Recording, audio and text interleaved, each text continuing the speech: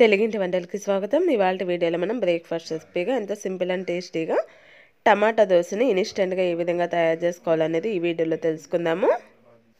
మనకి టైం లేనప్పుడు ఈ విధంగా ఇన్స్టెంట్గా బ్రేక్ఫాస్ట్ని ఈజీగా తయారు చేసుకోవచ్చు. ఇప్పుడు దాని తయారీ కోసం ముందుగా ఒక రెండు టమాటాలని ఈ విధంగా కట్ చేసుకోండి. అలాగే ఒక చిన్న అల్లం ముక్క నాలుగు ఎండుమిరపకాయలు వేసుకోండి.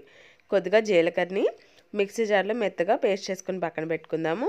ఒక మిక్సింగ్ బౌల్ తీసుకుని అందులో ఒక కప్పు ఉప్మా రవ్వ ఒక హాఫ్ కప్ బియ్యం పిండి హాఫ్ కప్ గోధుమ పిండిని కలిపి తీసుకోవాలి. ఇప్పుడు ఇందులో మనం ముందుగా పేస్ట్ చేసి పెట్టుకున్న టమాటాని వేసుకోవాలి.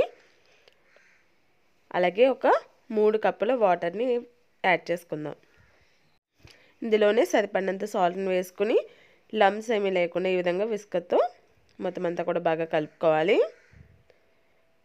పిండి మనకి నార్మల్ దోశ పిండిలా కాకుండా కాస్త లూజ్గా ఉండేలా చూసుకోండి.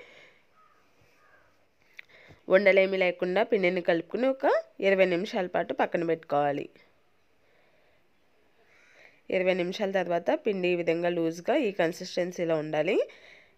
పిండి ఇలా తయారైంది కదా ఇప్పుడు తవా పెట్టుకుని హీట్ అయిన తర్వాత దోశను వేసుకుందాము. జస్ట్ మనం పిండిని ఈ విధంగా స్ప్రెడ్ చేస్తే సరిపోతుంది.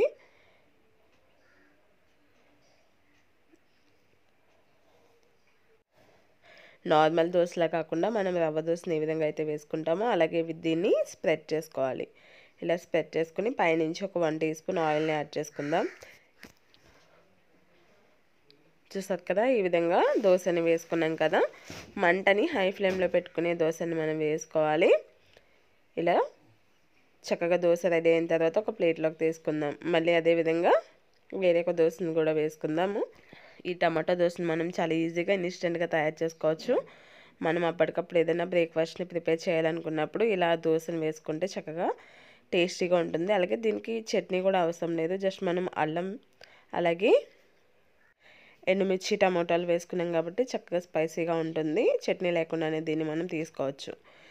ఇది కూడా తయారైన తర్వాత ఒక ప్లేట్లోకి తీసుకుందాం. చాలా సింపుల్గా మనం టమాటో దోశని ఈజీగా ప్రిపేర్ చేసుకున్నాం. ఈ రెసిపీ కనుక మీకు నచ్చినట్లయితే మీరు కూడా ట్రై చేయండి. అలాగే మీ ఫీడ్బ్యాక్ నాకు పంపించండి.